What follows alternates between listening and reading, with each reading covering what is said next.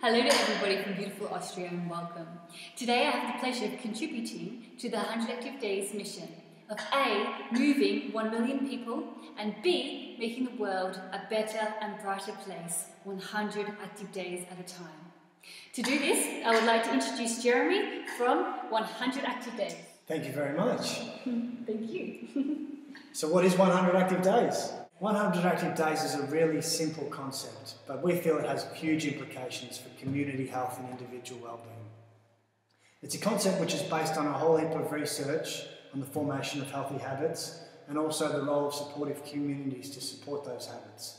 But I won't bore you with that. Essentially, it's one thing. It's a challenge to be active every single day for 100 days in a row. Fantastic. So, how many people do you estimate have taken up the challenge of 100 active days? We think it's in the thousands at the moment.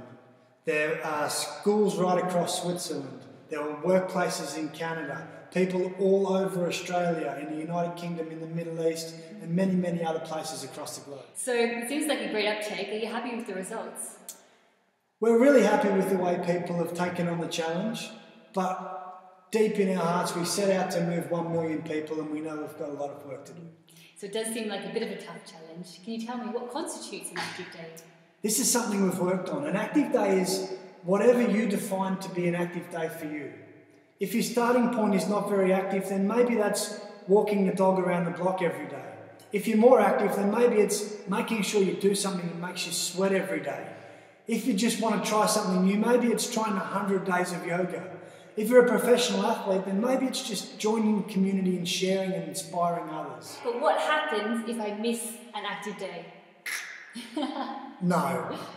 There's three levels of challenge in 100 active days. The gold standard is to get 100 active days in 100 consecutive days. Mm-hmm. That's really tough because we do all have bad days. If you do miss a day, we have the silver challenge, which is how many days does it take you to reach 100 active days? So maybe it would take you 110 days to reach 100 active days. The bronze challenge is slightly shorter, and that is in 100 days, how many of those days were active? So in my next 100 days, maybe 67 days of those were active. And my goal should be to beat that in the next 100 days. Wow, that sounds good and achievable. My question to you again is Have you managed to achieve 100 active days? I love it. I've done the gold challenge every single year that, since we dreamt up the challenge in 2014. And there's a point that I love the most, which happens right in the middle somewhere where you forget what day you're up to. and you get a little bit stressed about that at the time, and then you reflect and you realize it's not about the challenge anymore. I've created a habit. Being active every day is a part of my lifestyle. And that's exactly what we want. So, how do we get involved? To get involved, you can start right now. There are absolutely no barriers to entry. If you'd like to, the support of the community of the 100 Active Days family, sign up on www.100activedays.com or follow us on Twitter. Jeremy, thank you for coming in and spending the time talking to me about 100 active days.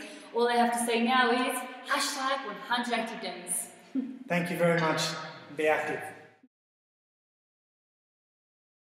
We really set out with the mission of moving 100, uh, 1 million people. Moving a million people. And uh, that's what we're going to do.